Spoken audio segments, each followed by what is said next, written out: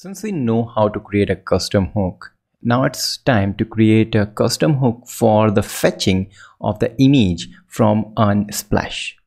And now as a convention, we need to start from use keyword. So it's like a use uh, fetch image dot js very easy so i'm not going to name it like a use unsplash because as I told you it's not required that maybe later we can use uh, an other thing other than uh, unsplash okay so let's once again create this. So use fetch image image not image. Okay so we have done that and uh, we just need to move these things from here. So cut it from here and paste it okay so we have pasted but we need the axios okay we have here. Then uh, id secret are there. So what i'm going to do i'm going to say const and const url is equal to this one like here.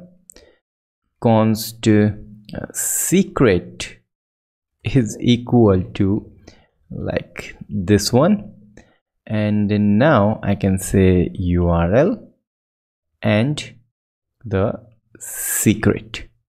Okay that's good. And I did this because to minimize this line so now it is looking good. And we have separate everything is separate. Okay now we need to set the image. So that's how we need a use state. So creating a state.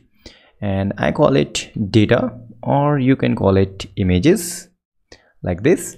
Initial value is empty array because it should be nothing.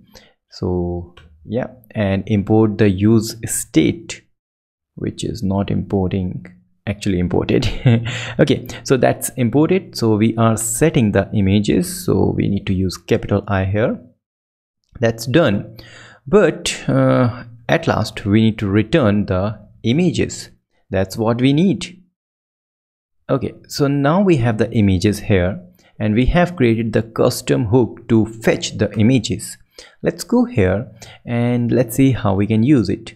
Now since we are returning the images directly from here we don't require this use state. So we can totally remove it and i can say const images is equal to use fetch image. That's it. That's done actually.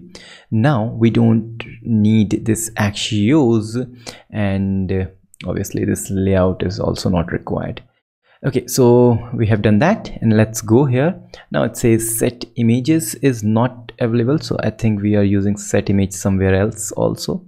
Yep here we are using hmm so what we can do actually uh, okay so we need to return this set images also.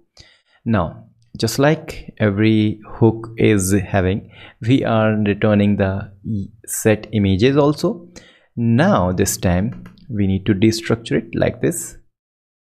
Set images so like here images.